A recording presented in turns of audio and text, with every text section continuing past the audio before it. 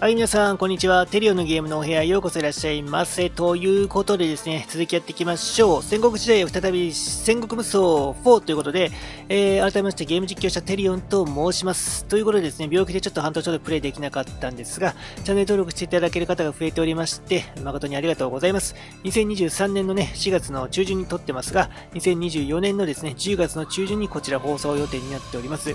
えー、チャンネル登録していただける方がですね、えー、1000名超えてですね、1万、10万、そして、えー、100万を目指すという感じになっていればありがたいなと思っておりますので、ぜひぜひチャンネル登録して応援してください。Hello everyone, my name is Terry. I am a game live. I posted a lot of videos so far. I've been playing live for about 3 years but I'm sick and couldn't play for about half a year. I'm aiming for 1000 subscribers by the end of the year. I'd be grateful if you could support me for the recovery of the illness and for the continuation of the gameplay. Please support me by subscribing to my channel. ということでですね、えー、続きやっていきましょうか。まあ、今回もね、ちょっと前半、ポッドキャスト撮らせていただいてたんで、えー、もうですね、若干声も枯れ気味ですが、やっていきましょう。天下統一の章ですね、四国征伐、えー、天下人の戦、あ無島島っていうのかな、えー、無鳥町？無鳥島？あの、かげろうじゃないや、あの、コウモリに示す、四国に響く反抗の調べを止めようということでやっていきましょう。ちょっと準備いたしますね。おい、じゃあ行きますよ。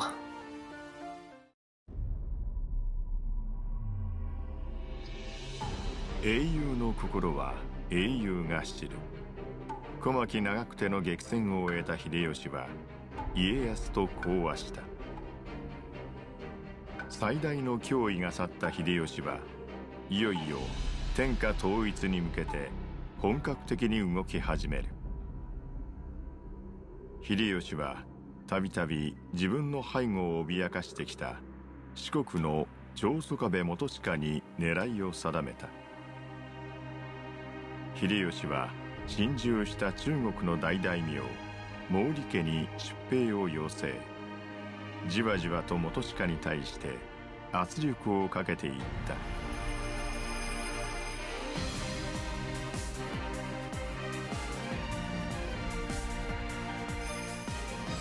天下統一の章四国征伐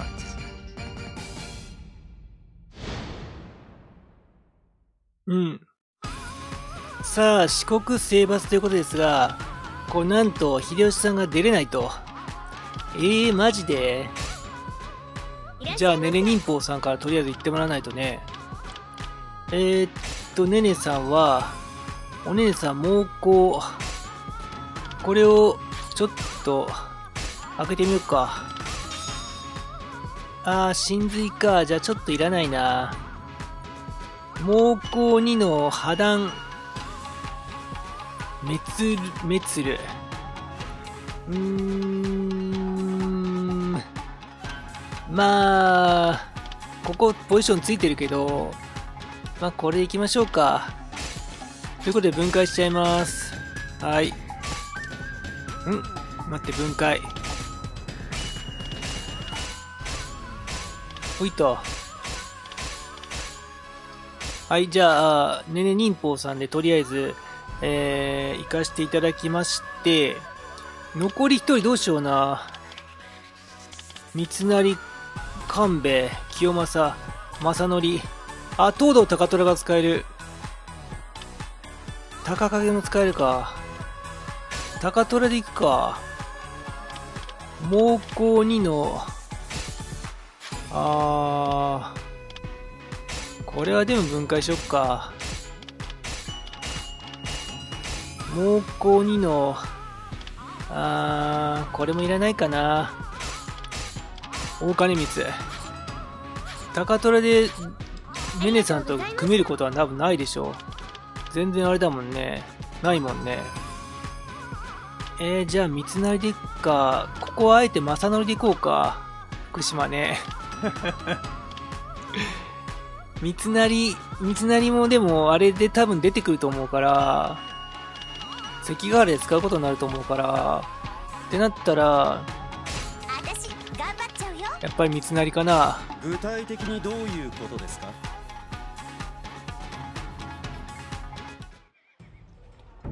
四国討伐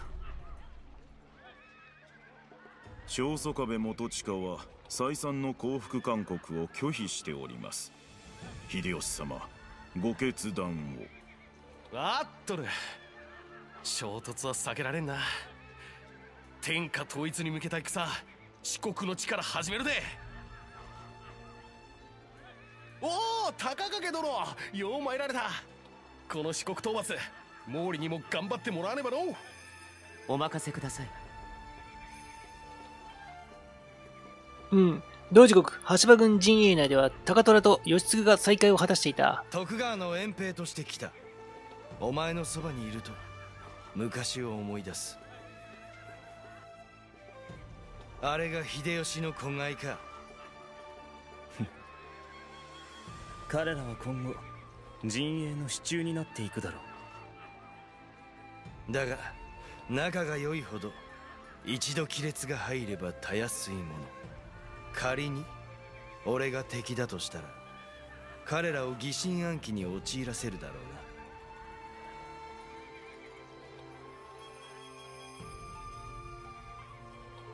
ひび割れた友情。こたびの遠征には東堂高虎が来ているな。何やら義継と親しげに話していたが。高虎は徳川陣営を代表して遠征に参加している義継と話していても何も問題はないと思うが。清正あの高虎というのはかなりの切れ者だ。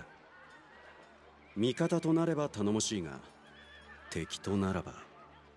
まだ徳川を目の敵にしているのか。今は俺たちの味方だ。そんな態度は慎めよ。失礼した。俺はお前ほど徳川びいきではないのでな。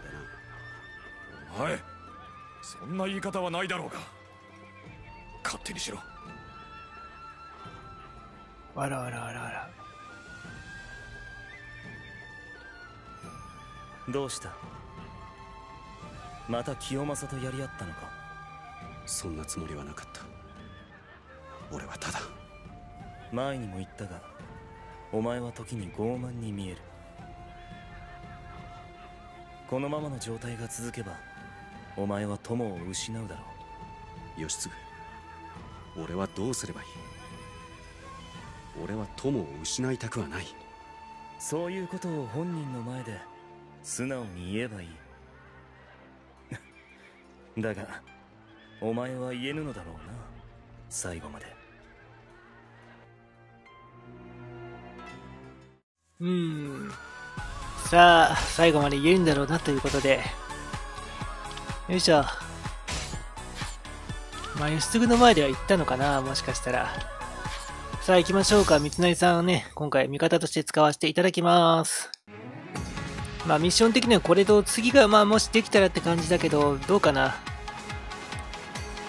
あと5個かなんかだったんで、まあ、1個やって残り4つにして、あと2日で終わらせてもいいですけどね我らまずは彼らとの連携回復を第一とする。よいしょ。では北砦と北東砦を落としまう。ん。新軍道を確保。し先遣隊との連絡路も作れます。さあ、北通りでと北東あー福留さんらを撃破せよ。足場に刻みつけ。る反骨の調べ。最うん。初に奏でるのはお前だあ、私もうやればいいんでし？ょさて、小少々さんが出てきましたね。えー、っと、ここ、ねねさんはどうしような。えー、っと、ねねさんはね、ちょっとこの奥のあたりに行こうかな。小少々とかまだやれないか。あ、閉まってんのか。なんとか倒したわもうこうなりゃやけよさて高影をちょっとあん？キッカー元永。よいしょ。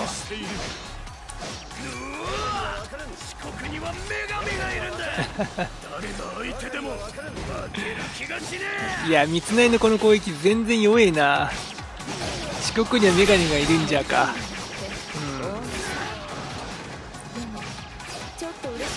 船を一つでも失えば退路を断たれ？る足をせーい敵も狙ってくるゆえ注意せねばなや三成これ弱いな。全然武将タイプじゃないから。美女ちゃんには一般の恩があるしね足これは困ったな三成弱すぎるわちょっと。足も遅いしね。よいしょどうしたものか。柳生さん。いやこれはまずいな。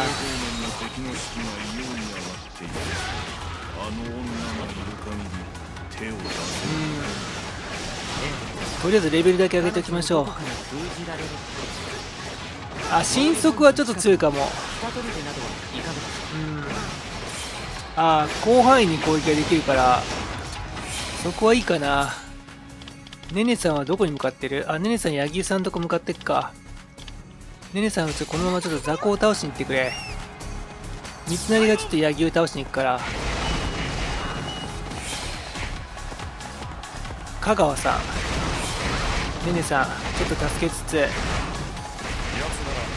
この程度の方は当然だ。うん。まあ、お市場の戦いで失敗したっていう経過誇れる気がせんな。あれがあるからね。失敗した戦いで城を落とせなかったっていうね、えー苦い失敗があるんでね。石田三成さんはね。必ず勝てるだろうと思ってですね秀吉に送り込まれたのに城を落とせなかったっていうですね。ひどいあれがあるからね戦歴が。三成が活躍した戦ってあんのかななんか奉行っていうかその経理とかさ政策部門はなんか優秀なイメージがあるけど軍事的なあれで活躍したってイメージがないんだよね三成って。うん。その辺がなんかその武将タイプの人とかあんまり合わなかったのかもしれないね。なんかその頭の中でのね確かに理想はそうかもしれんけど実際はちょっとみたいな実行できないよみたいなさそういうことをなんかいろいろ言ってそうだよね。しかもそれを傲慢な態度で言ってそうだから人はついてこないよねっていう話になるよね。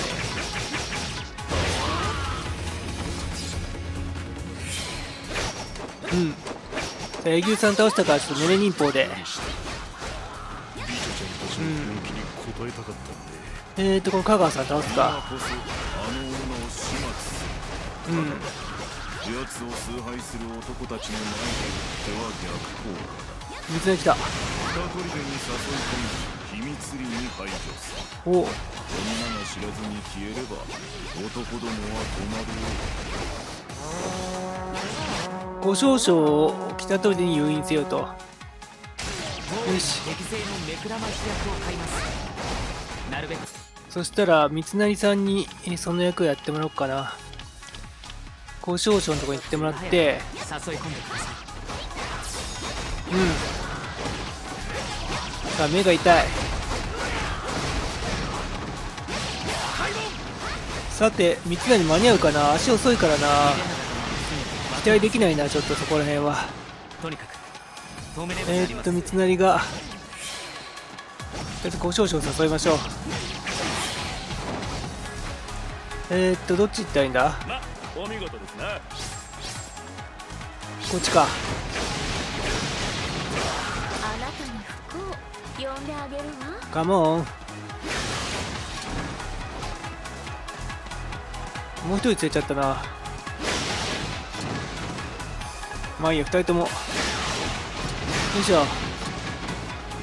秀長殿が危ない。急ぎ敵兵の排除よいしょ呼んだよ。これで北西方面の男どもは混乱するはずだ。よし。奇襲するなら今ですね。うん。さあ三成さんが一生懸命戦ったけど全然ダメージが入ってない。地球故障者を撃破せよ。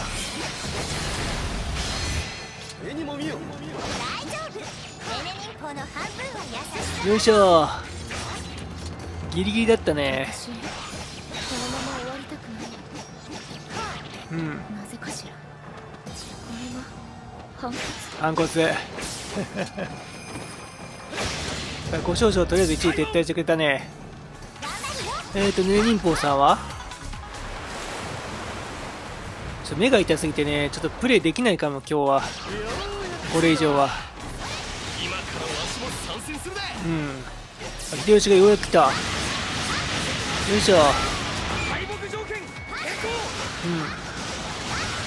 じゃあ秀吉のために道を開くか。うん。聞け俺たちミネさんなんかもともと分身してんだけどさ。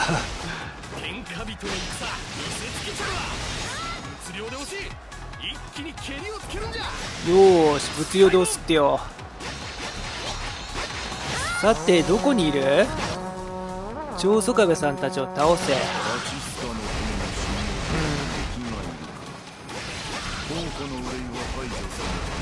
ほい。えー、っと佐竹さんたちを倒せ。よし倒した倒した。みっちゃんみっちゃんどこにいる？えー、っとこっちは金子さん。このままじゃあここまで来て来てみっちゃミッション達成するために。ねねさんはここを渡っていくんで。で清須会議とねえー、っとなんだったっけ関ヶ原か。それはねちょっと見ようかなって思ってますね。多分どなんかサブスクどっかにはあるでしょう、うん、ネットフリックスにあればいいんだけどな。四国の美味しい魚でも食べたら帰って隠居でもするか美味しい魚か。この当時に食べてる魚とさ今食べれる魚って全然味違うんだろうな。ね。だからもっとなんか脂が乗っかってて美味しそうだよね当時の方が。いやーまあでもそうだろうね。よっしゃ。で三成は来てるかな？この程度の戦果誇れる気がするな、尋常に勝負いたせさあ三成尋常に勝負しよう。ほいほいほいほいほいと。いた。ほいほいと。つまらぬ敵だ、うん。もう終わりさよいしょ。でねねさんがここを倒すと。三成が南の方に行っていくぞ。大丈夫？三成。あと一人は三成に任せようか。おいしょ。あねねさん戦ってるね。よいしょ。いやでもねちゃんとして学ぼうと思ったら難しい文章を読まないとダメなところはあるよね。あの解説書みたいな感じでさ例えばお寺とか読んだらさそこにすごいさ歴史とか書いてあったりするけどさあれ結構ね大変なんだよね。漢字とか読み方書いてなかったりするしさ字ちっちゃかったりするしさ。おまけに今あのネネットでしかその内容が見れなかったりするからさ目が痛くなるしさ。大変なんだよ。前提条件の知識がないとね分かんないとこもあるからね。少々引っかかるが娘を撃て。そのよいしょ。娘を撃て。ガラシャ？ガラシャの撃破はどうしような。任せるか。ねねさんに。じゃあねねさんそのまま行くかで三成にこの香川さんやってもらおう。ガラシャはそのまま行くよ。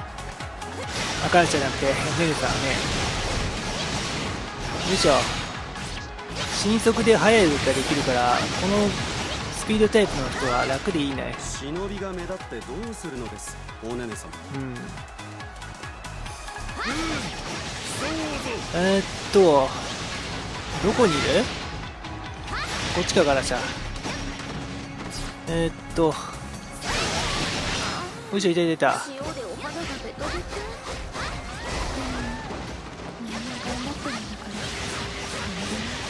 さあ胡椒椒がもう一回出てきたね。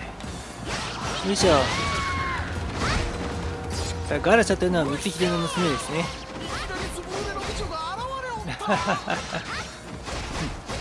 まさか泳いで奇襲をしてくるとはな。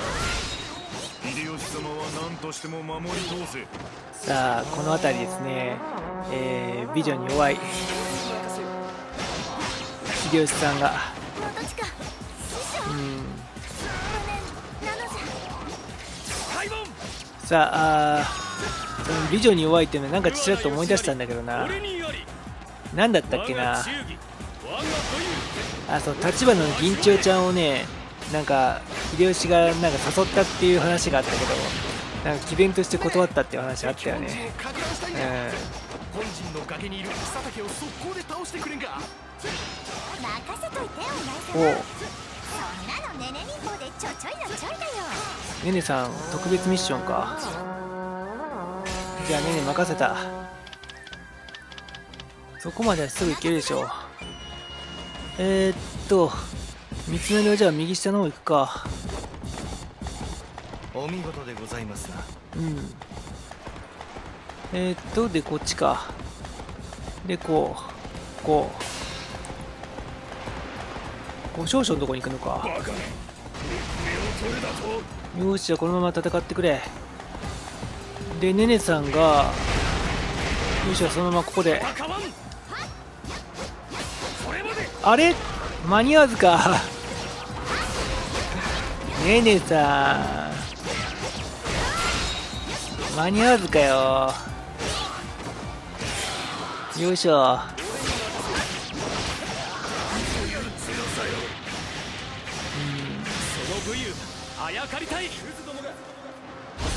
秀吉様やらせんぞ。いや少々は一発で倒せんか痛いな。よいしょ。よいしょ。おい三成頑張れ。レベル差が圧倒的になるけどここは耐えて倒すんだ三成。くっと見事なそ。なんとか倒したね。えー、っと。ねね忍法さんに任せるかあとは。あもう元近じゃん。もうクリアしちゃうぞ。うん。いやめちゃくちゃいっぱいいるね。超速壁軍がね。いやでもこれ倒しちゃうぞ元近このままだと。元近さん。よいしょネリでもちょっとダメージ受けちゃってんな。よいしょ。三成は誰と戦ってんだ？誰とも戦ってないのか？じゃあ三成ちょっとあいるじゃんここに。江村さんとかいうのが五六ちゃんを助けようハチスカの。よいしょ。ほい。いや三成弱えな。三成使うことはないなこれ。ちょっと強さがねちょっと弱いわ。使いづらいし。よいしょ。さあここでも元近さんを倒しちゃうぞ。おいしょ。よいしょ。よいしょ。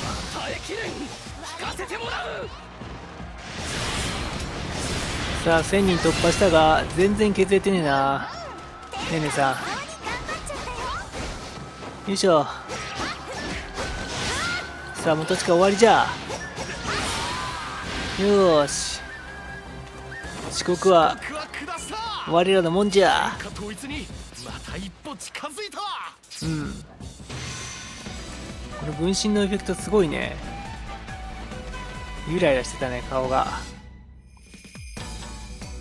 うんさあねね奮起さあねねさんが18まで上がりましたね三成は8か触れるときとする？罠を発動する成長すると置ける罠の数が増える竜巻の障壁を展開するうん。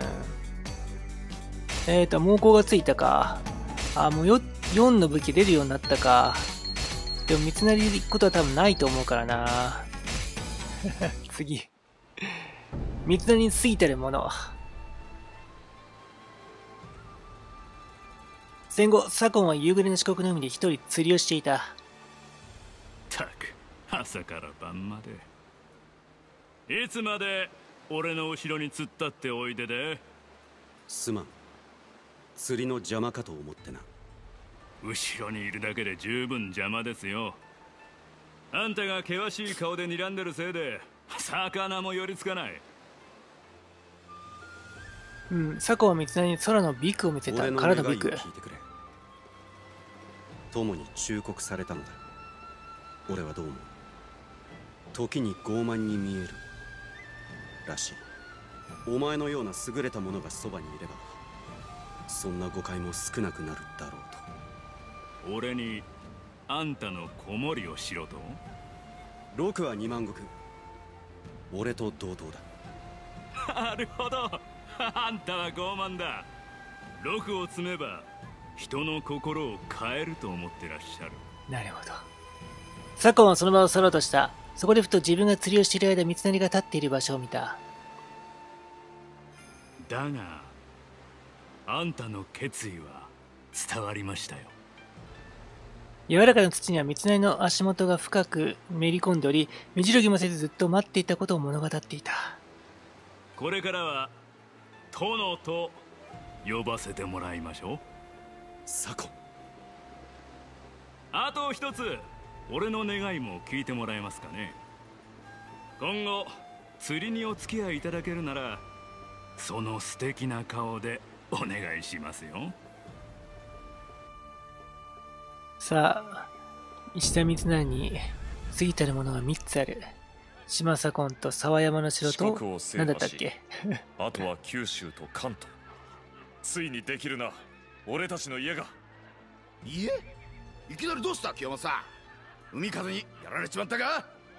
あが例え話だ。秀吉様が土台で利家殿が大黒柱。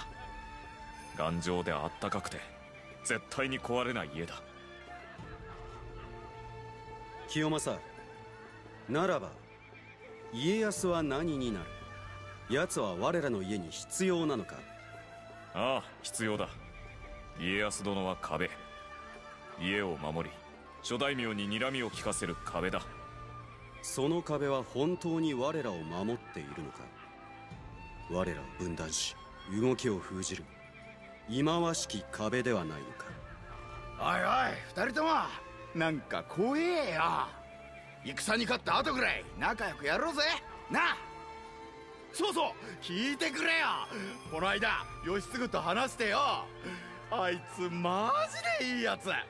三成にもったいねえだぜ俺が幽霊とか言ってごめんなって謝ったら3年以内にたたってやろうか。だって マジ超ウケる。それって何気に怒ってないか？え？そうなの？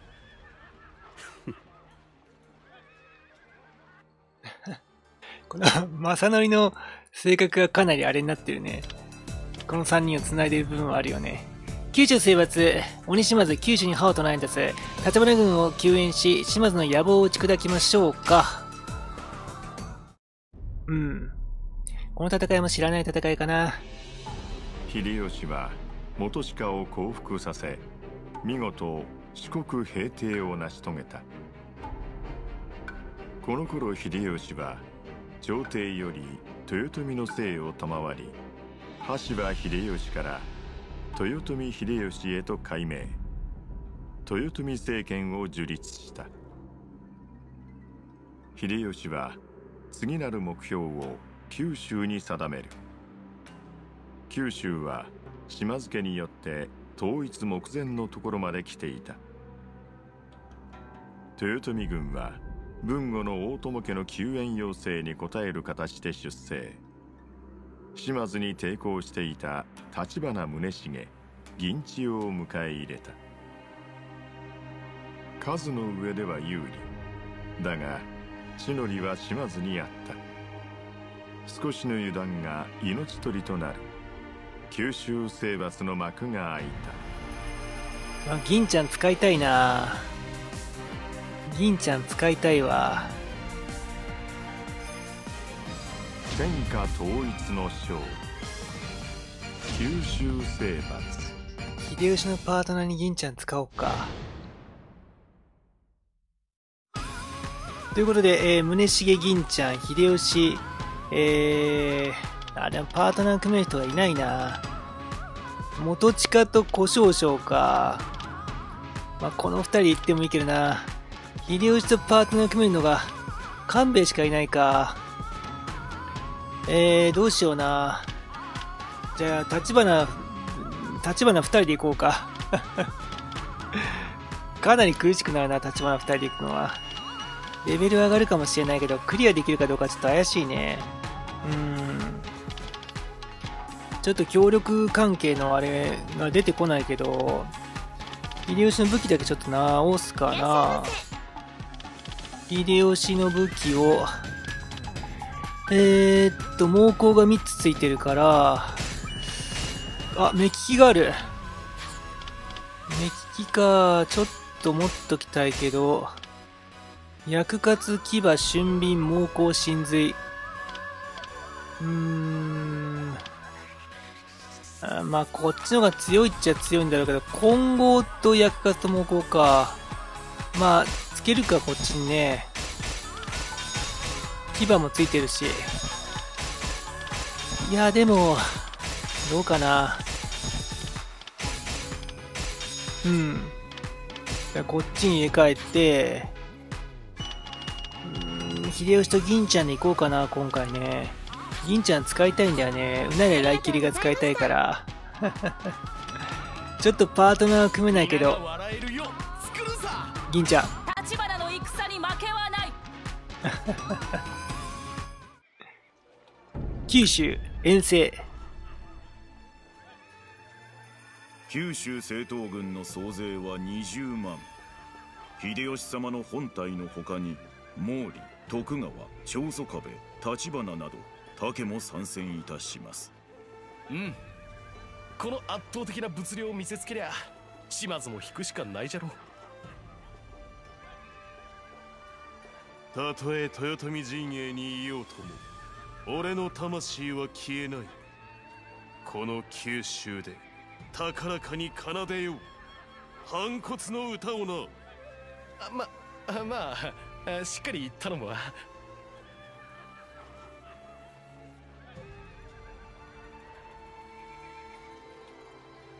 おお宗重銀千代チコ。お前さんたちに礼が言いたいもし九州全土が島津のものになっとったらわしはもっと大規模な軍を起こさねばならんかった。その分時間もかかるじゃろうし人死にも増えたじゃろう。全ては立花二人の働きと亡き常雲殿の命を落とした奮戦のおかげじゃ。ありがたき幸せ。常雲我らの立花山城は島津に一旦制圧されましたが家臣が立花山城に忍び込み本丸を奪還した模様。主としてはすぐにでも救援に駆けつけたいのですが。ああ分かっとる。さあ立花山城に群れとる島津を追っ払うで。うん天下統一の章だけムービーめっちゃ長いからね。さあ身支度ということで、えー、秀吉はいいですがえー、銀ちゃん、まあ、白に乗り換えていきましょう。銀ちゃんね、かなり攻撃力高かったね、記憶があるんで、うなり来切りでね、進んでいきましょう。でもレベル1なんだよな、銀ちゃんね。このマップ見た記憶あんな。まあ、九州の章で見たでしょうね、きっとね。立花山城ね。あジョーンのあれで攻めているところか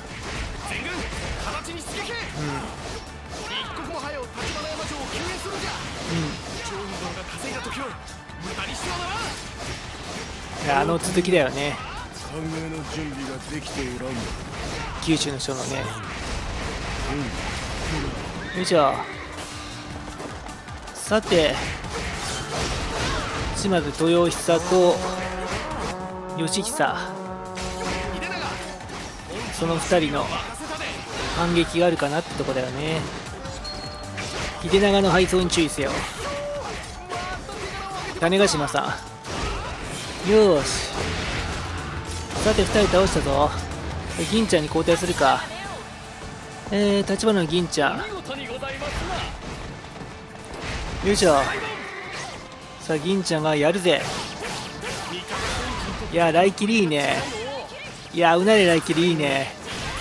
レベルが低いのにこの攻撃力になるからやっぱ銀ちゃん強えな。えー、っと武器がね武器にこう付加価値がつく。タイプのうん武将は強いよやっぱり。えー、っと横山さんと野村さんとあ猿渡さん。こっちは秀吉に任せるか。えー、っとうん。樺山さんか。よいしょ。よっしゃ。さあとりあえず倒したぞ。立場の敵ではなかった。銀ちゃん強えわ。島津義弘。あの男に立花の城も一族も踏みにじられた。ああ。だがまだ生きている島津義弘だって義久とか言ってたんだ。またやり直せさ立花うん。さあまだやり直せると立花をということでお家のねためにも戦いましょう。よいしょ。このレベルになると綱長兵とかも強いんだよな。痛い。そう簡単に旗持ち兵とかも倒せないね。これ銀ちゃんの攻撃力じゃ。なんせレベル1だからなまだ。くそ。強いやないか。オッケー。鉄砲隊を先に倒しつつ。よいしょ。で秀吉に代わってとりあえず秀吉が一気に削る秀吉は強いな。みるみる通常攻撃だけ減らしていくもんね。いや手柄手柄も手柄手柄大手柄ですよ。えっ、ー、と銀ちゃん。えっ、ー、と銀ちゃんのお相手は？2人いるか。無双かっこよすぎやろ。かっこいい。立花上昇ゆえに立花である。かっこいいね。やっぱこのマインドがいいよね。うん。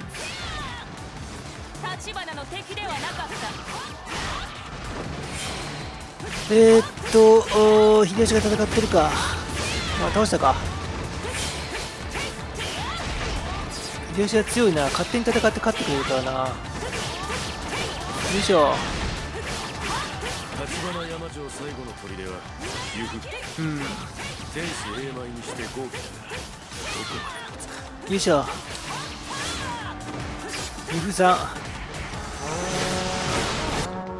えー、っと由布さんのおっと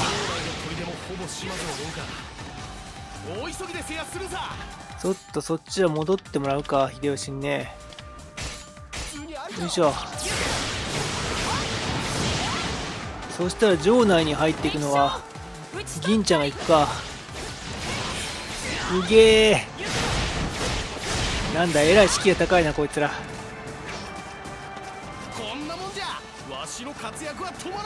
うわ。城内入れんぞこれ。うわ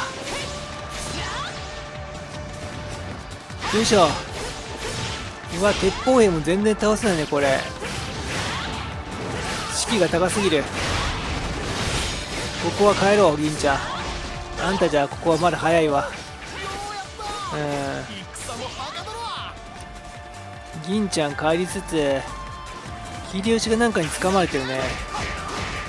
あ門守備頭か。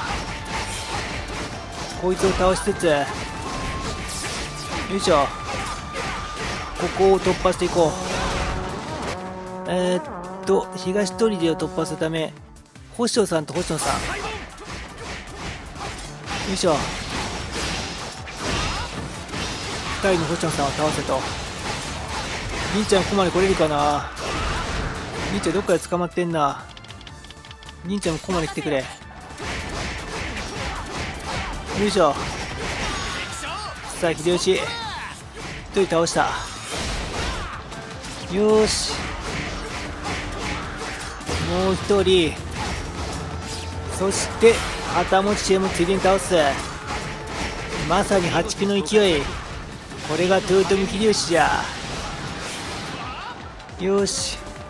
あ銀ちゃん先行してる。弟の直次は宝満禅城を守っていた。岩屋城の戦略によって直次が孤立した。うん。島津は直次を橘山城に届けると約束し直次の抵抗と宝満山城の開城を要求した。直次は城兵の命を考え島津の案に従った。ここに直次がいない。どう思う？どうもこうも島津にはめられたのだ。あららら。ら一刻も早く直次を奪い返すぞ。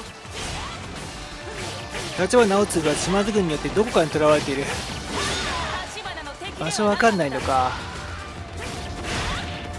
探さんといかんと。いうことね。よいしょ。えーとそうしたらどうしようね。どこかに囚われているっていう話だね。立花豊臣の将兵たち、うん。ようやってくれた。今度はこっちの番じゃ。岩屋城にこもる島津軍を一掃したるわさて岩屋城にこもる島津軍を一生しちゃるわと。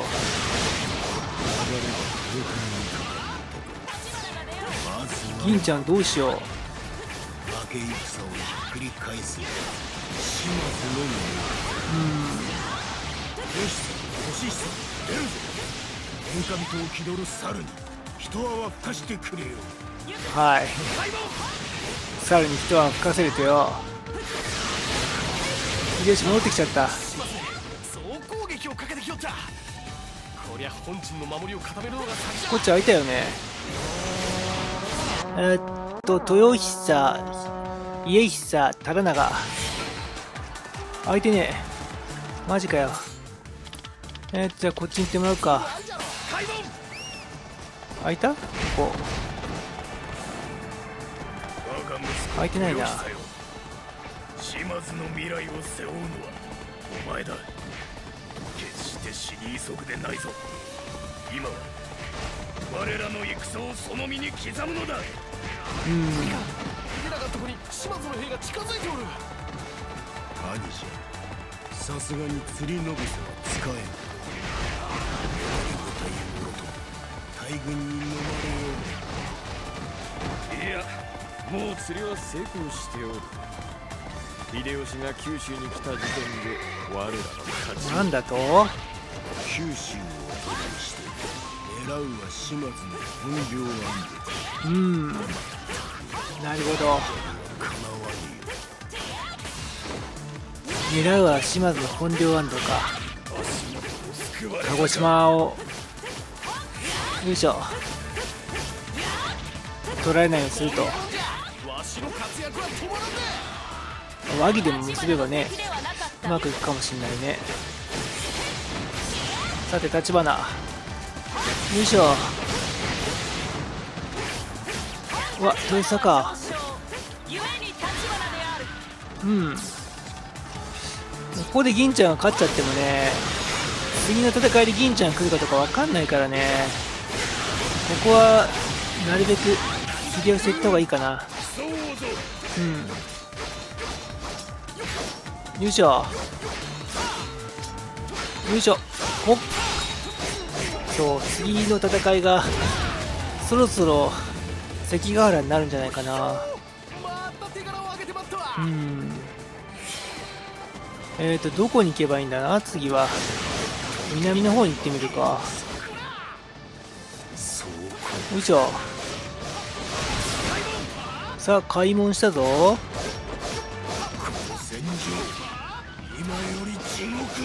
獄の戦場を開門したらしい。伊集院さん。島津義弘を撃破せよ。よいしょ。そこはそこは任せよ銀ちゃんに。結構遠いな。九州これ大変だぞ。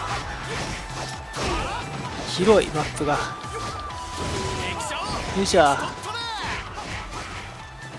味方もいっぱいいるはずなのにな。なかなか。よいしょ。でえー、っと。こっちから下の方に行けるかな？こっちか。行きましょう。えー、っとそれで右の方に曲がればさらに武将が1人いそうだね。そいつ片付けていくか。よし。うん。ほいほいほい。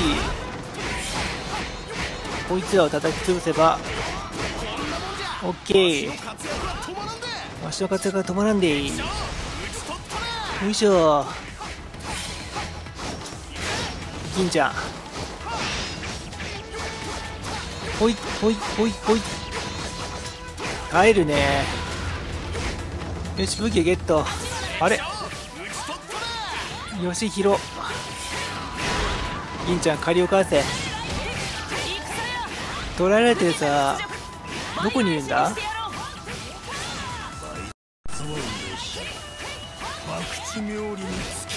ういえ。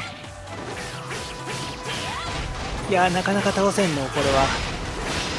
厳しい倒れんか。いない来切り強いな吉弘削るのが大変だこれレベルが低いと厳しいなこれ。よいしょ。うん。そうこんな感じで。ギリギリの戦いになってくるね。よいしょ。最後の砦も打ち破ったら、うん、全軍岩屋城へ総攻撃じゃ。総攻撃。行きましょう。えー、っと残ってる武将は？諦めない。この身果てるまで。豊久。よいしょ。どこにいる？吉久よいしょ集合兵よいしょ。秋月さん。銀ちゃん。大切り。くそ。切り刻めんか。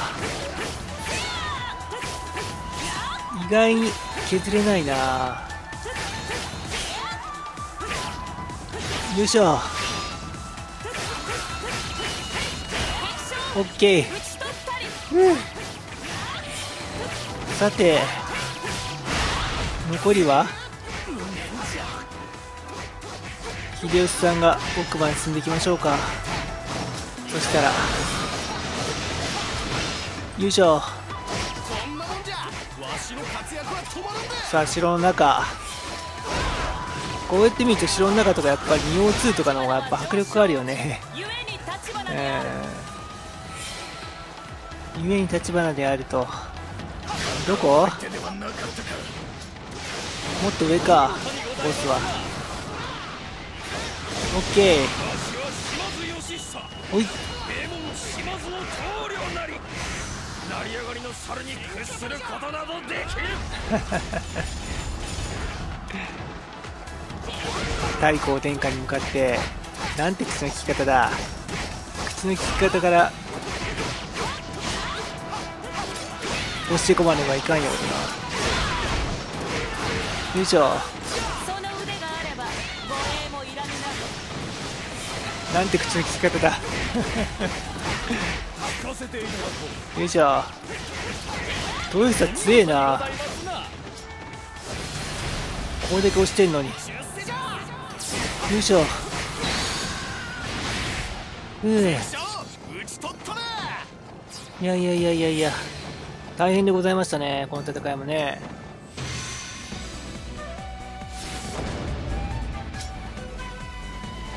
勝利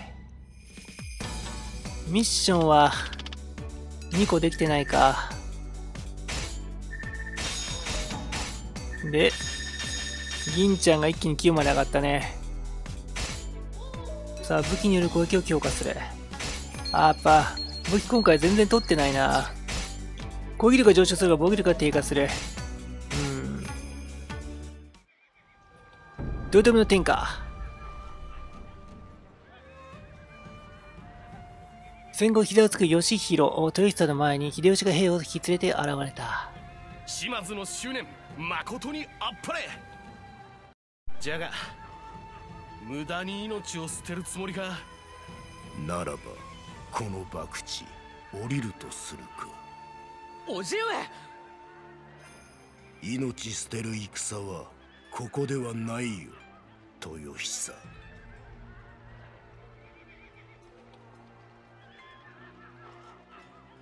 見たか義継あれは力に任せた脅しだ。秀吉の物量で押すやり方では人心はつかめまい。秀吉様はある時を境に覚悟された天下統一のためなら脅しも辞さずだ。だが秀吉亡き後豊臣の崩壊は目に見えている。高虎は一息ついた後息を消して義継に問いかけた。義継そこにいて本当に夢は果たせるのか。長政様と追った夢を。ああこの陣営にはあの方によく似た男がいる。周りにどう思われようとどんな逆境にあろうと己の夢のため突き進む男がな。俺は徳川でお前は豊臣でそれぞれの夢の続きを追うのだな。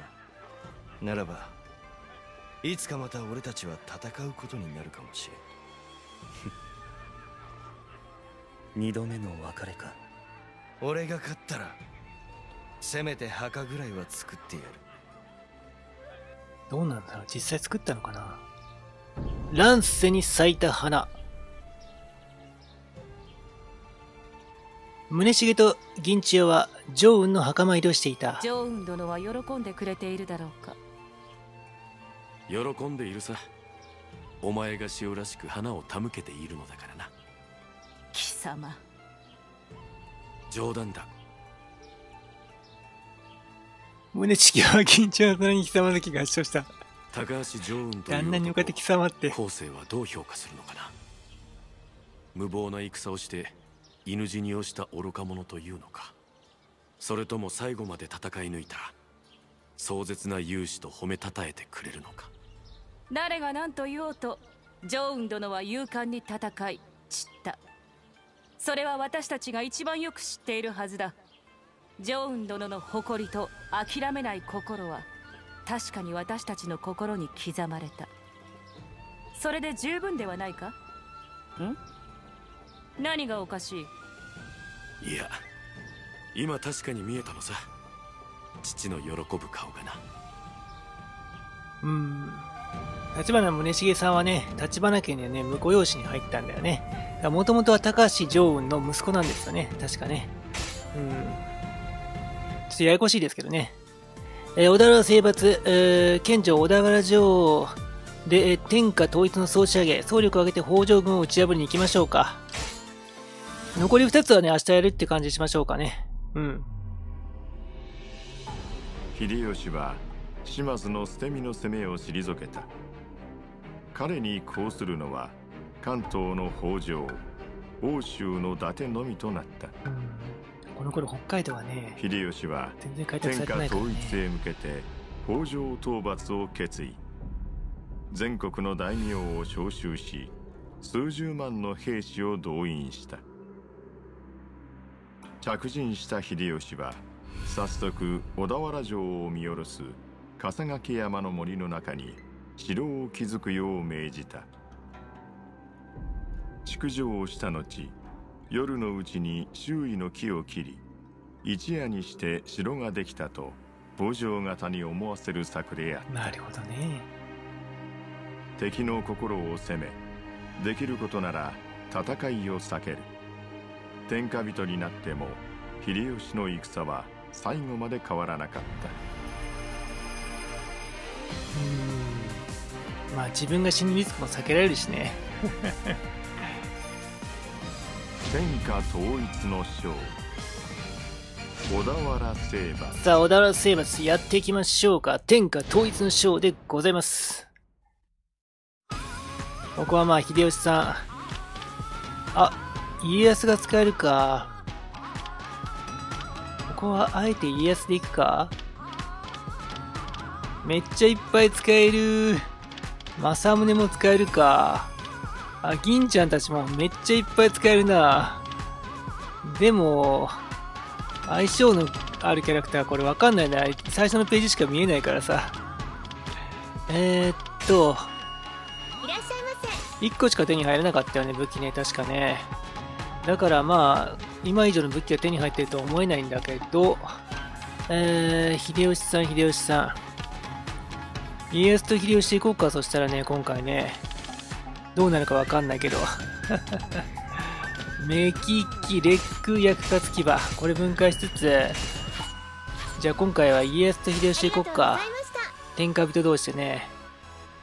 皆が笑えるよう作る太平の世を作りましょうぞ この組み合わせはほぼないと思うんだが。小田原を望む。戦前、秀吉、家康、利家は小田原城を一望できる場所にいた。さて家康殿。北条平家氏の地は関東を頼みましたぞ。受けたまわった。利家お前はこれからもわしと一緒に天下支えてくれ。お任せとけ秀吉。さあ天下統一総仕上げじゃそんなあっさり関東をもらうって言ってないと思うんだよね、あの、家康はね。関東ってすごくね、あの、この当時の、あの、水はけ悪くてね、江戸城とかのあたりはね、大変だったって言いますからね。しかも北条の民がですね、非常にですね、北条に懐いているのでね、えー、ここをね、渡したのはですね、秀吉なりの嫌がらせだったんじゃないか説ありますよね。いえー、家康の力を削ぐためにね。家康にいい土地を与えてしまうとですね、家康はやっぱ力があるのでですね、すぐさま反抗してくるかもしれないと。こうなりゃ北条氏康もその子らも全て討ち取るまでうん。敵を撃破せよ。おい。まあ各地にですね、えー戦国大名が作ったですね、包みとかっていうのはね、あったりしますよね、今でもね。信玄包みとかね。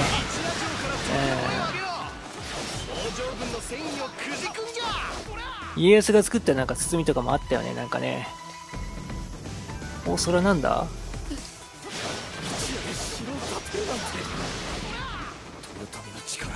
うん。みんなビビっちゃダメ北条の結束今こそ見せる時よ一夜で城なんか作れるかよ。あれこんなもんじゃわしの活躍は止まらんでさて、秀吉さん、もうちょっと先に進んでいって、敵を倒しましょうか。とりあえずね。えー、っと、あ、あれ？もう敵がいる場所がないと、そんなに。よいしょ。200いけるかなほい、ほい、ほい。うん。200倒したら門が開く感じか。いやー、戦ってもいるし、この戦いは相当あれだな。よいしょ。さあ、家康。家康と秀吉が揃うってすごい戦いだな。うん。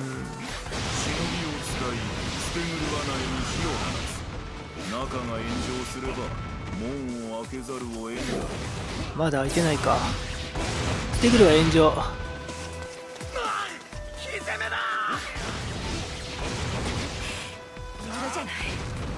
みんな下がってここは私が引き受けた何？海姫どうなる？買い物したってよ。行きますか。さあイエスさん行きましょう。海姫を撃破せよ。だからイエスで行くとちょっと困るんだよな。あどうかな。西軍だとでも西軍だとでも誰も西軍で戦える人多分いないぞ。レベルが高いメンバーがおそらく。だって秀吉はもう死んでるでしょ関原の時には。うん。よいしょ。ほい。ほらあげつないさっきよいしょ。も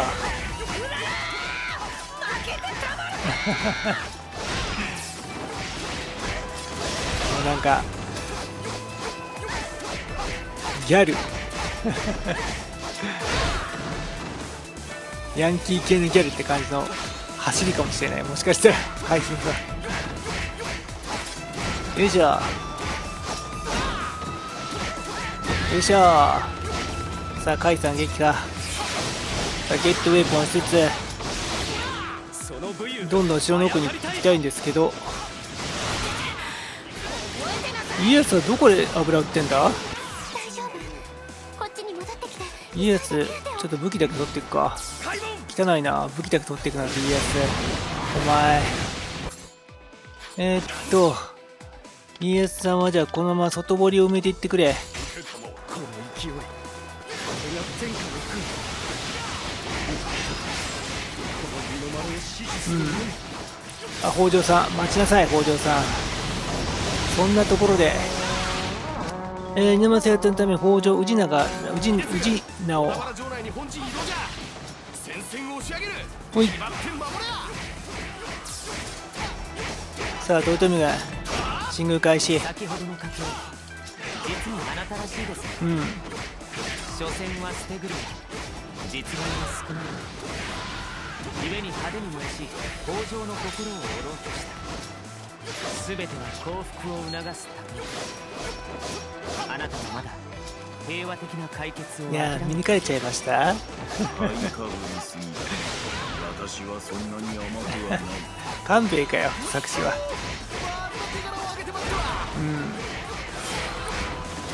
うん。よいしょ。ほいと。カモン。うん。見ろや。見てちょうじゃないの名古屋弁で言ったら。あ名古屋じゃないか。そっか。秀吉だ秀吉が言うと見てちょうになるのかな。家康が言うと見ろやになるのか。実際あの江戸弁って結局のところは演習弁になったりするんじゃないのかな。三河武士たちが登っていってそれが根付いたとか。ネクロもないか。よいしょ。さあ目が痛くなってまいりました。早く決着をつけないと。持たないと私の目が。よいしょ。秀吉家康が南の方で油を売ってるから今のうちに秀吉が活躍して敵将を打ち取っていきましょう。北条がいっぱい出てくるな。5人だからな。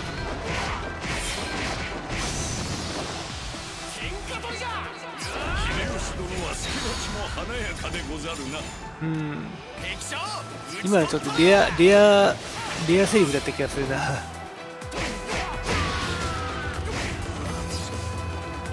よしこれで。さあ目が痛いからイエスどこでやってるか分かんないぞ。と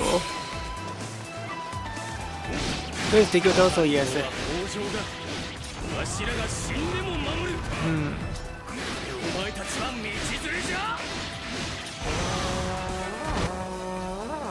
さあ南の方の敵がいっぱい出てきたね。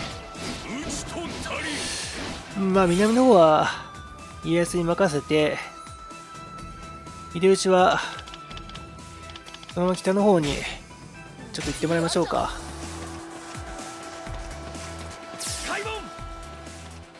さあ目が痛い。二の丸制圧隊へ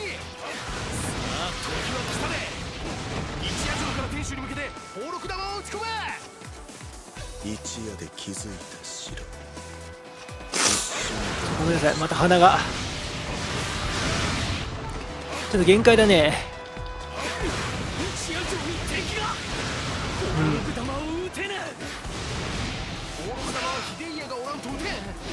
何としても守ってやろうじゃえーと小太郎の分隊を倒せとよいしょとりあえずこの辺の敵を倒しつつ。うん。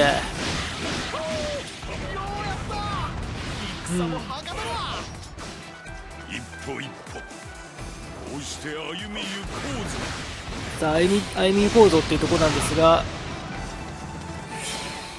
目が痛すぎるんですよ家康さん。なんとかしてください家康さん。お得意の家康さんの薬ください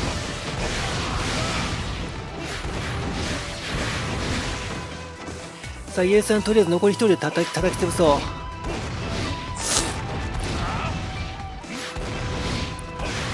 さて。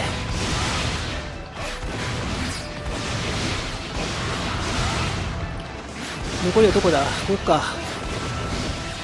あれ？これこ小太郎のとこ向かってないか？馬の。あーっと。あ違う。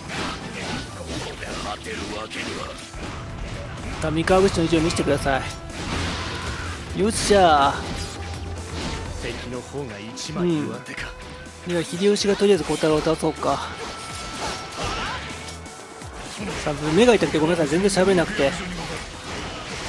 なんでなんでこんな目が痛くなるの、まあ、病気だからなんですけど。悔しいな実況する上でさ目が痛くなってめちゃくちゃやばいからね。さあ秀吉さんが秀吉さんが向かってるんでその裏をついていくか。そいつは任した。この後ろ片付けに行くので。浮田さんが苦戦してるって？力負けしているか。大丈夫か浮田うん。浮田さんは備前の武将だよね。岡山はね。あのー古典ラジオで解説されてたよね浮田さん浮田秀家だったっけ？実質上関ヶ原の西軍の指揮をしたのはこの人なんじゃないかって言われてる人だよね浮田さん。家康さんさそこじゃあ2人ともここにいるのか。小太郎の本体。秀家危ねえな。半分よりもかなり減ってるじゃん。よいしょ。うん。よいしょ。これで天下統一。うん。さて。よっしゃ。宝禄玉を放て。さあやってもらおうやってもらおうさあ音が止まったぞ。さて小田原城をぶっ壊してもらおう。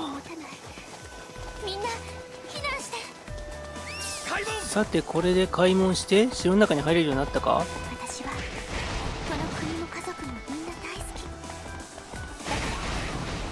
この家紋かっこいいよね。さて早からの撃破しましょうか。うんおいとそいそいそいそいさあ早川殿。聞かせてもらうこの秀吉のもとに嫁いでくるのじゃ。欲が溢れすぎてる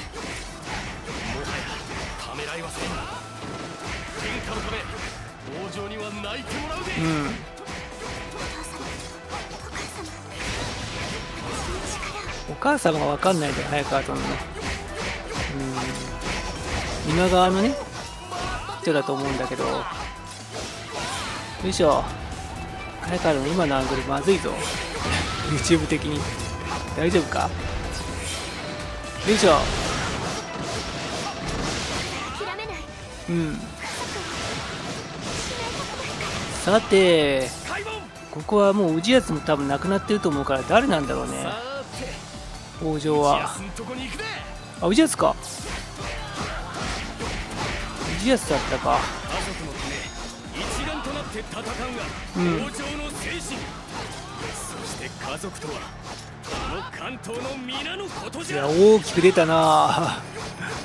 関東の皆のことだったら税金取るんじゃないよ。ねえ。四皇六民かなんかって言ってたよね。チョクラ豊臣の奴らに挨拶してくれ。それでも結構重要だと思うけどな。城は任したぞ。はっ父上。お帰りまで城は指示します。さてよいしょ生きてる。秀吉がもうねスタンバってんだよな。あれはもう氏康のところないのかな。あいやこっちまで来たな。よいしょ。おいしょあらレアレアゼリフじゃなかったな全然。おいと。さて2人で上がってきちゃったな。もう氏康と戦うことになるかなこれで。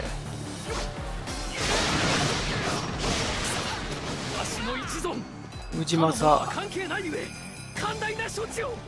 え？何言ってんだよ。さあ氏政さん喧嘩しましょう。よいしょ。ほいほいと。天下とほざいて戦してる陰でよ。何万の民が傷つき泣いてんだよ。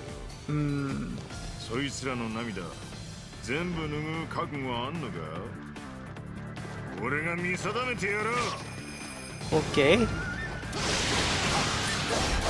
見定めてくれよ。小僧も音もしますから。小僧？私は最後まで家族を守りたい。うわまた海兵たちが来たぞ。いやーまた移動開始って。どこにいんのさ？南の方にいんのか。氏康をじゃあちょっと無視しつつあれ海姫たちどこにいんの？ちょっと見ようか。全員ここにいんのか。うか、まあ戦わなくて見に行っちゃいいんだけど。全部わしの心に刻まれておるここでお前さん。の魂も刻み皆が笑って暮らせるよう作ってみせるわみんなが笑ってくださいって無理だって。誰かが泣くから誰かが笑ってんだって結局のところ。よいしょ。合流しちゃったじゃん。南から行かなくちゃいけなかったんだねこれね。うん家族を思う心は消えない。じゃあ消えてもらおうかもう。目が限界なんで氏康ごめんな。打ち取っちゃったぜ。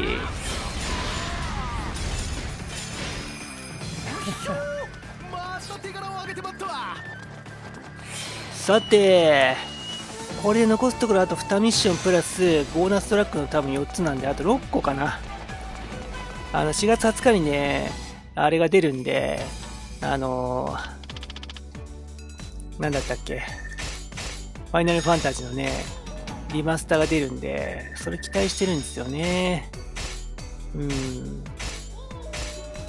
当日にね1本やりたいなって思ってるのがあるんでそこはちょっとね、なんかできたらいいなって思ってるんですけどね。次関東を治めるやつに伝えてくれねえか。ここの民泣かしたら承知しねえってな。必ずや。氏康、親方様。お父様。お父様。お父様。お二方は秀吉殿と共に大阪へ。敗者は勝者に従う。それが戦国の習いでござる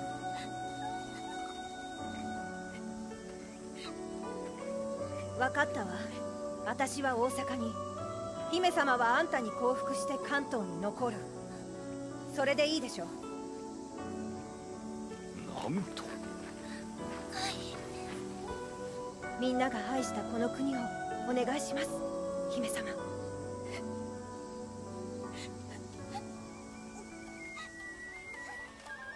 あひ戦の秀吉出世してあれよあれよとこう当たってて明智に新旗に登場お前様危ないよいいぞ秀吉天下平定おおおっとととととと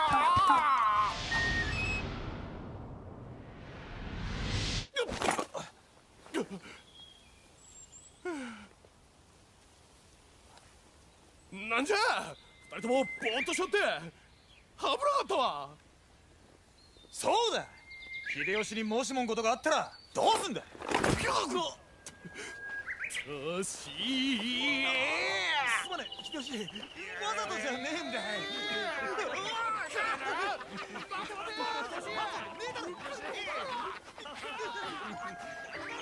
ようやく笑って暮らせるようになったねお前様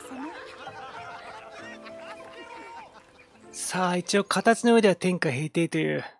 ね。こっからがでも大変だよね。さて、関ヶ原が来て、最後大阪夏の陣、冬の陣か多分どっちかで終わると思いますので、今回はここで終了したいと思います。どうしような、関ヶ原までやっちゃおっかな。まだいけそうだよね。うーん。行くか、最後ね、関ヶ原ね。えー、関ヶ原の戦いでは東軍、西軍それぞれのシナリオを選択できます。また西軍シナリオではメインに選んだ武将によってパートナーが決まっています。えー、っとね、でも西軍、東軍か。やっぱちょっとね、負け戦がやりたいね。西軍でいきます。しっかりしろ秀吉あ、これでもやったかな、西軍。あ、東軍でやりゃよかったな。秀吉同じムービーだもんね、これね。三成出てきてね。東軍でやればよかったね。明智の章でやった。明智じゃない、真田の章でやったもんね。あ、東軍でやるべきだったな、これ。ちょっとこれスキップしよっか。うん。ちょっと今回はね、東軍で行こうと思います。西軍はね、家康の野心は明白奴はありとあらゆる手あ、を使いこれ、秀吉様が作り上げた知性を覆さんとしていこるこはスキップできないか義。は我らにありこの一戦に勝ち豊臣の世を守り抜くのだうーん。なるほど。ちょっと待ってね。東軍で行くか、西軍で行くか。うーん、三成と、義継と、あ、銀ちゃんいけるか。ちょっとこう、シナリオ選択画面に戻りましょうか。あー、でもな、ムービー見てないから、こっちの東軍の方やっぱり見よっか。うん、東軍のムービー見たいもんね。秀吉が亡くなるとこから始まるのかな、これも。あ、違うね。川涼みですか良いですなおお家康殿かわしは運よく天下人になれたじゃが多くの門を死なせてきたそれは供養とですかな？いやいやそれじゃ何千いや何万も妻にはならん。家康殿。わしの心の中にはすでに何万もの墓があるんさ。じゃがとどまっておれ。何万もの恨みつらみを抱えつつ先に進まにゃならん。天下を守らにゃならん。そうせんと墓がもっと増えてもらいやーふう冷たくて気持ちええろ秀吉殿なぜそんな話を私に？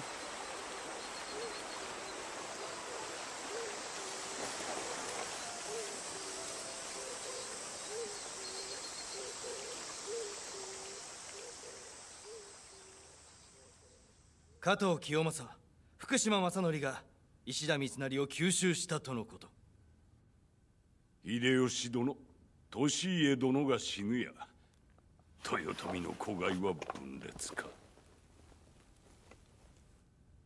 秀吉殿あとはお任せをうーん。東軍の方になんか、すごい利があるような感じで描かれてるな。小田原に北条を下し秀吉は天下統一を成し遂げた。だが秀吉そして前田利家が相次いで没すると天下は再び大きく揺らぎ始める。天下の実力者徳川家康と政治の中枢を担う石田三成の対立が表面化したのである。そんな折三成と密かに通じていた上杉家が家康に対して弾劾状を送りつけ公然と反旗を翻す。家康は上杉討伐のため会津に出征。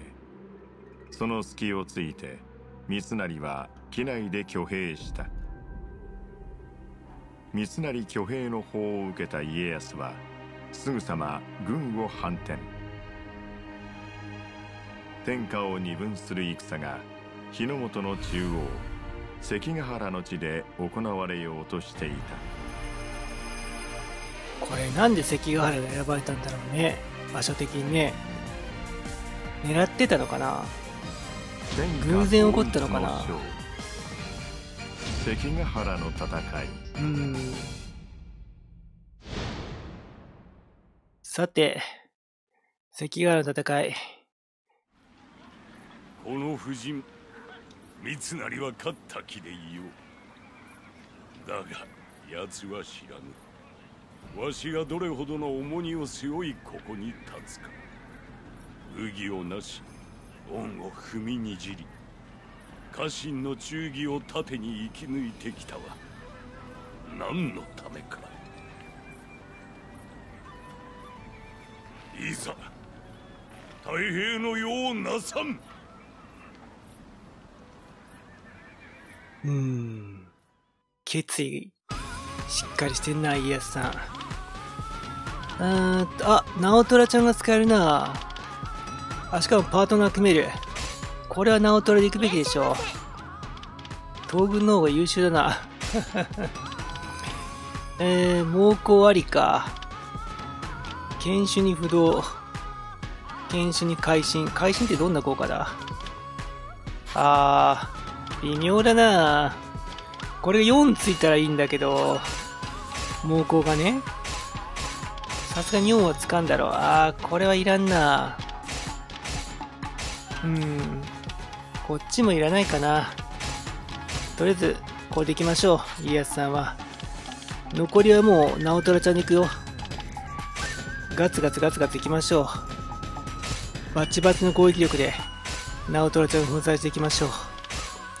これ目利きだったらいいんだけどな牙だったらいらないかなとりあえず、この二人で行くんで、ありがとうございましたちょっと私もね、限界なんでね、目がね。行けるとこは行け行きましょう、このままね。決戦の先陣。戦の前に確認しておく。三成を討つ決意に変わりはないか。なあ頭でっかちはぶん殴んなきゃ目を覚まさねえ。だから先陣は任せてくれ。家康にもそう伝えろ。あでもよ。俺バカだからうまく言えねえけどよ。なんかまだもやっとしてんだよ頭。俺たちはずっと一緒だった。ガキン頃俺は三成を佐吉。奴は俺を市松って呼んだよ。なんでんな奴と戦わなきゃなんだよ。てめえだって義継撃てんのかって聞かれたら。俺は家康様を信じ家康様の目指す夢を信じている。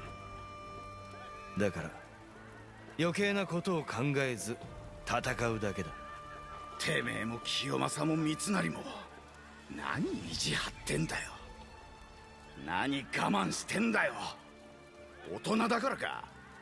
俺バカだけどよ。てめえらも大概じゃねえ。すみません。あの私わかりますその気持ち。私もその昔戦ったんです。友達と。太平のためには仕方ない。そう自分に言い聞かせて。そうしないと悲しみに潰されそうで。差し出がましくてすみません。あの辛いようでしたら先陣は私が。気遣いありがとうよ。でも三成だけは俺が殴らねえとダメなんだ。マジで喧嘩してマジで泣かしゃきっと全部元通りになる。なるに決まってんだよいや、それはお前らの関係はそうかもしらんが、天下国家のこの形勢に関しては変わらんぞ。それで勝っちゃったら、ねえ、三成が死ぬかもしれないってことも考えられないのかね。正則くん。三成が負けるってことはそういうことなんだよ。大将は首を取られちゃうんだぞ。そこ考えないと、関係が戻っても、その人が死んじゃったら意味なくないか？天下を定める大一番よ。うん。皆心を一つにして西軍を打ち破らさあ、西軍を打ち破り、や、や破りましょう。無人で勝っている大軍を十分に引きつけうん。殲滅せよ。心の揃わぬ大軍な不合の衆頼み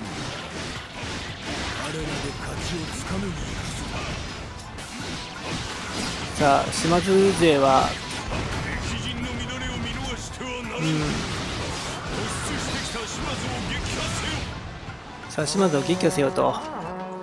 えー、っと、島津何を勝手に北大鬼死隊島津を援護せようん。三成め上から命令する気か我らはうわ、むちゃくちゃだな、西軍。花と来たら俺は小西を説得しますうん義経さんは浮田を動かしてくださいあらららら。これは大変だな。さあ、豊久。豊久強えな。削れない、全然。えー、強っ。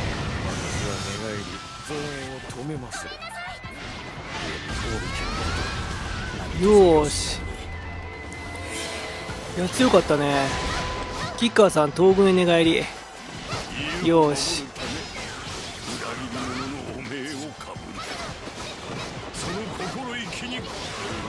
うん。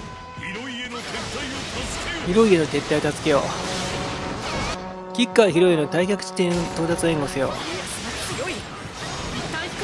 うん。さあ、吉川広家さん、助けに来たぞ。ほいほいほい。そい。松平さ。うん。秀吉の世のためってもう秀吉いないからさ求心力がないよねもうねこの先のこと考えたらっていうのみんな考えちゃうよね完全に頭だって誰が次統制取るんだって話になってさ三成ってなっちゃったらさ三成さあれがないからさ人望が。正直秀吉に心の中でつこうと思ってた人いっぱいいた気がするよね。うん。秀吉様を支えてきたはずだ殿の性格も殿に今必要なものもお分かりなんだでもその殿いないんだよ。そうだな。うん。三成の性格は知ってい。る今三成に小西の助けが必要なこともな。おい。足政子小西行長を説得。いやー。あれ？あてて撤退できたか。よっしゃ。家康さんは？うん。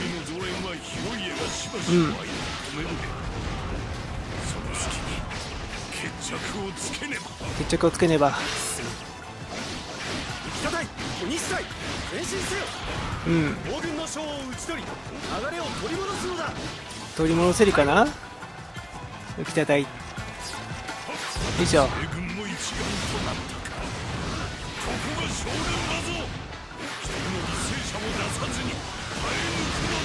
おっと秀家さん。浮田秀家を撃破し味方部署の配送させてよ。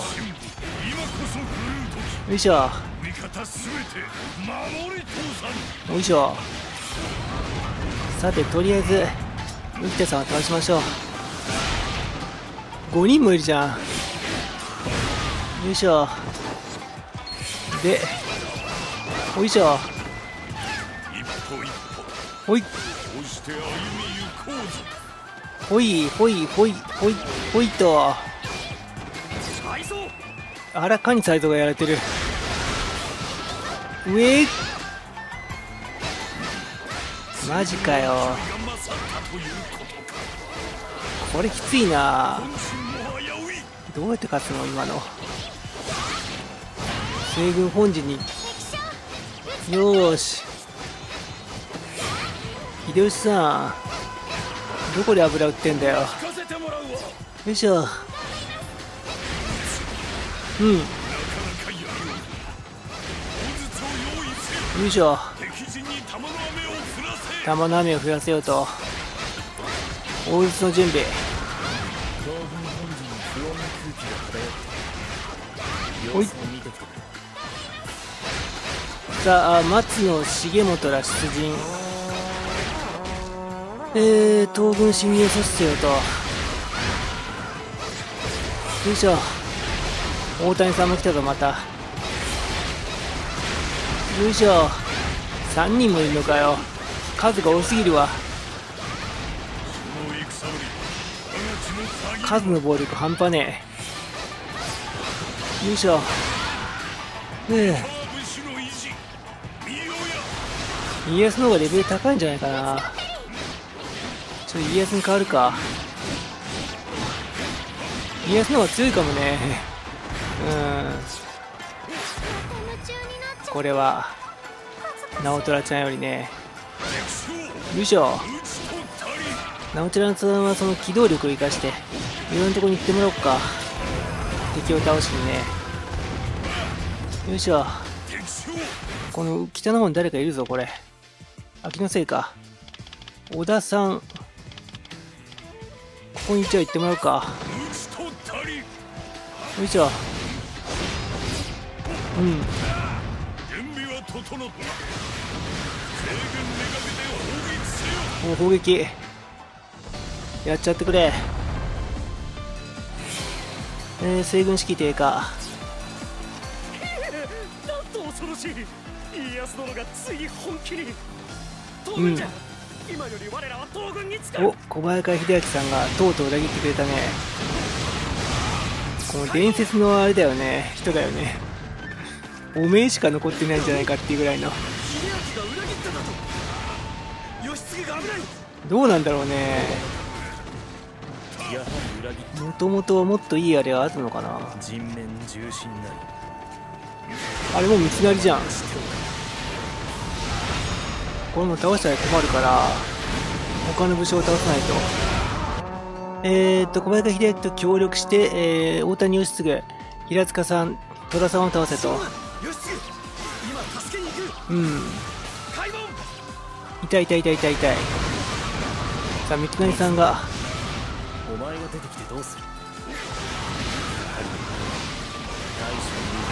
厳しいんだよいつも。義継さんは。よ。よっしゃ来たぞ。秀元殿ここは通せませぬ。進める戦王冠こそがいや三成にも当たってるじゃんこれ。よいしょ。三成ここに来ないでくれ。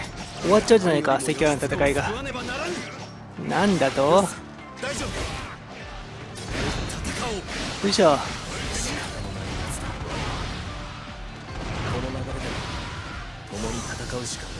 やっちゃったか。大丈夫？三成倒してないよね。あと義継だけか。よいしょ。オッケー。よし。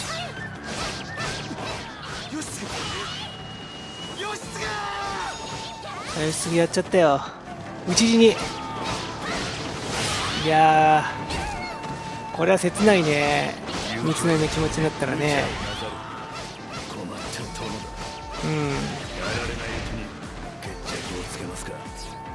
よいしょ。左近たちが来たと。うん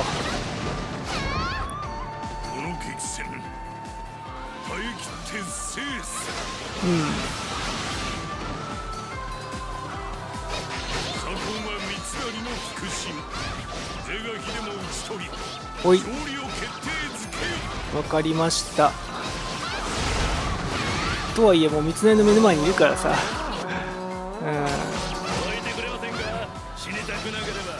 三つ成を倒してくれませんか？もう一暴れさせてもらおう。秀吉あいやさん。うん。よいしょ。オッケー。おいては左近さん。よいしょ。おいよいしょ。いやー強いの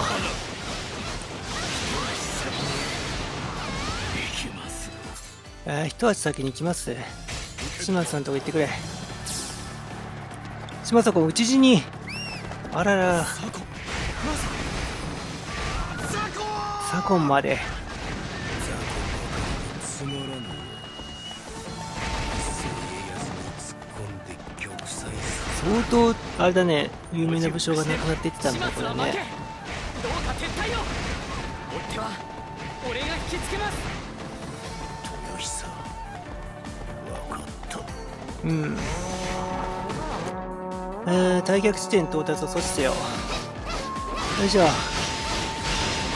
吉弘さんは味方によらず足が速いです。え？このままじゃ逃げられちゃいます。なんだと？豊久さんを撃てば同様で足が鈍るかも。厳しいですけどやってみます。よしじゃあやるか。退却前に吉久を撃破せよ。あ豊久を撃撃撃破せよごめんなさい。やらせてください。くそ。いけるか退却前に豊久見事な働き強いな。こここまでになると倒すのに時間かかるんだよな。オッケー。ふう。叔父上早く撤退を。おじ上。お待ちくださいおじ上。えー、大丈夫なおとらちゃんだが俺は逃げぬ。秀吉様の世を守るため家康を討つ。うん。三つ目みたいに奮起三成に突撃せよ。今こそ勝利をつかむのだ。待てい。おギリギリ間に合ったね。よいしょ豊さん討ち死にしてたかあれって。よいしょ。よし吉弘さん撃破しましょう。ほい。よいしょ。でこれででも無双一発やれないもんな。強いわ。さすがにここまで来ると。このレベルで対峙するのはなかなか苦戦するね。いしょオッケーあとは家康さんがあー長宗我部たちがいるか。うーんまあ行ってもらうか家康さんじゃあね。よくぞ務めを果たした。さらに励め。ほい。本国に引かせてもらおう。せがれに死ぬなと言われる。家康誰と戦ってんだ？じゃあ家康はこっちに向かってきてこっちはね任せようか。直虎ちゃんにね。敵の方が一枚上手か。ちょっと遠いけど。あ三成はまあ簡単に倒せちゃうからな。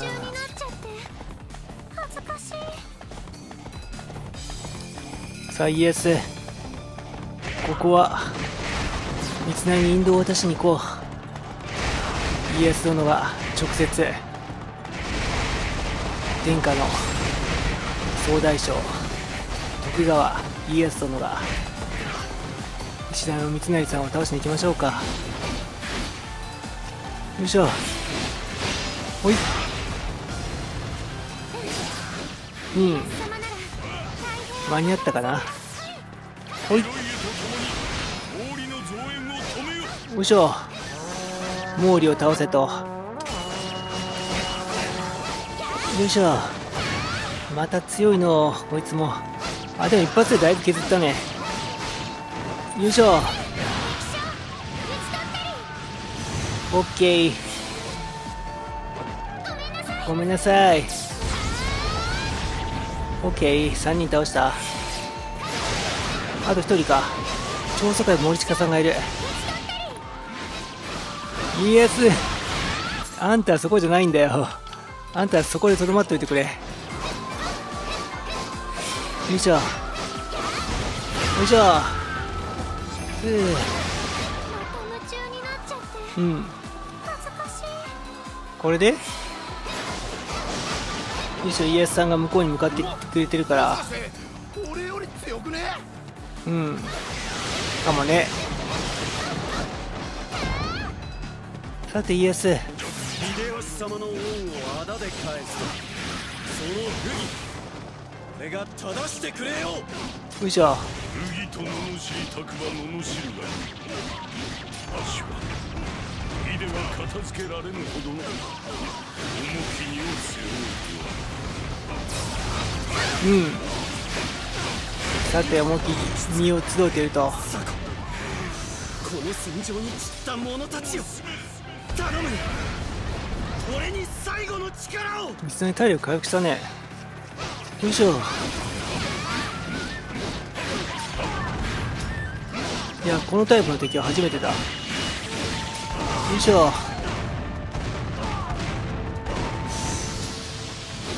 イエスなんだかんだで半分ぐらいまで体力減ってんな。結構減らされてますね。変わってみるか。早々にお一人願うよいしょ。うん。よいしょ。さあイエスに変わってとどめはやっぱりイエスが刺す。くそ。三つ成強いじゃないか。急に。急に強くなって。よ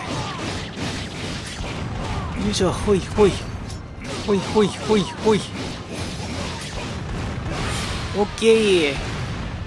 いや急に強くなったな。その執念敵ながら見事。お主の思いをも背負いうん。わしは歩もう。よし今日はもうちょっと限界なんでもうポッドキャストも撮ってるしね。顔がなんかね三笘選手に見えてしょうがないんだよな。あと安田圭さんとね三笘選手両方に見えるな。三笘選手はサッカー選手ね。19まで上がったか直虎ちゃんも18だったか。うん。わいい武器手に入ったっぽいな。猛攻3か。猛攻修羅とかにはついてる。うわこれはすごい武器手に入ったな。よいしょ。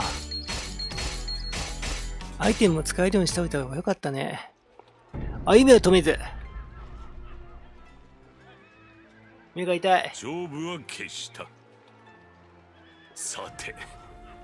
これからが本番よ。ただかつ西軍に味方した者はことごとく処分せよ。上杉毛利ら大大名も例外にあらず。は正則清正など東軍についた豊臣恩子の大名はいかがいたしましょうや。画像せよ。ただし江戸城周辺や日の本の中枢からは遠ざけるよう国替えすべしイエスのお差配は言葉通り厳しいものだった。石田応対の諸葛は当然没収。上杉毛利両家も取り潰しの危機に瀕したが、領地を約30万石に減らされ家康に降伏した。承知つかまつったして豊臣家はこの戦に豊臣家当主秀頼殿は関係ないよって放任しておけばよいただ西軍の大名を処分すればその大名に預けていた豊臣の直轄領もおのずと減る。遅かれ早かれ豊臣方から不満は出ような。それでよしと。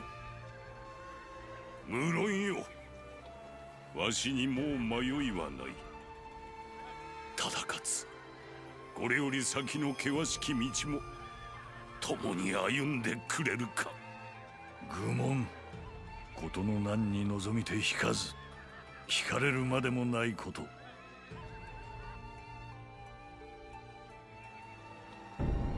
椿の花。関ヶ原の戦いの戦死者は両軍合わせて数万人も上った。えげつない戦いだったね。島左近や島津豊久など多くの名将たちも戦場の露と消えた。そんな将の一人大谷義継のために高虎は質素簡素の墓を作っていた。すみません。あのどなたのお墓ですか？友の墓だ。今はこんなざまだがそのうち立派なものを作る。そうですか。あ見てください。椿の木がこんなにきっと春になるとこの墓を囲むように椿が咲きますね椿の潔い散りざまはあいつに悲しいほどよく似合う。あいつもきっと喜ぶ。あの私も手を合わせてもいいですか？直虎は巨体を折り曲げ神妙な面持ちに乗った。戦乱はもう終わったのでしょうか？まだ豊臣が残っている。もう一波乱あると俺は思っているが直虎は作っと立ち上がると高虎に微笑んだ。